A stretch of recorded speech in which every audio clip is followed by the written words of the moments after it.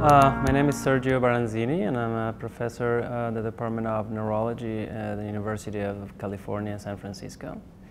Multiple sclerosis is one of the uh, success stories, if you wish, of the last uh, uh 10 to 15 years in terms of uh, applied research finally coming to back to the patients. Um, although not quite, because there's this part of the disease that we still haven't been able to crack, and that is progressive disease.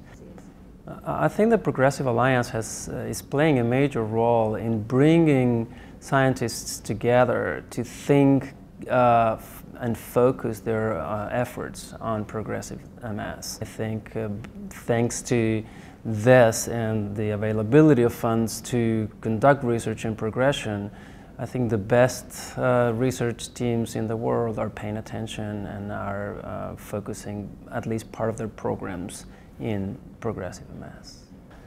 If you were a donor, what I would say is there's never been a time before in MS research where uh, researchers have from all over the world have come together with this clear objective, and this is to harness all our efforts into trying to solve progressive, progressive disease. The research is expensive and um, not always uh, um, government agencies are ready to uh, put in the money. They have to diversify their efforts.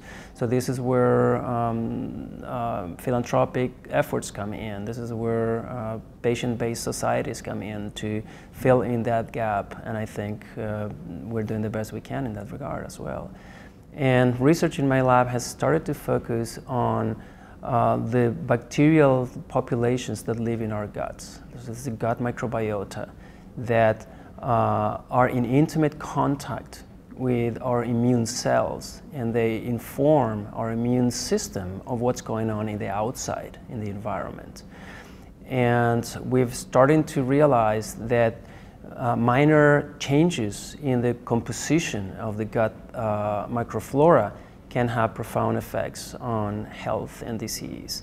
And it is uh, our uh, goal now to map what are those bacterial communities or those bacterial species that are potentially linked to uh, development and perpetuation of the disease. We're now uh, moving forward with a very large study trying to uh, create the first comprehensive international map of the gut bacteria that predispose to multiple sclerosis and hopefully we will be able to then uh, um, come up with therapeutics that are uh, directed towards restoring that balance, that healthy balance uh, in the gut microbiota, being that by a modification on diet, uh, probiotics, prebiotics, antibiotics, or a combination of all the above. So this research is uh, really transforming our understanding, I think, of uh, MS pathogenesis, and we are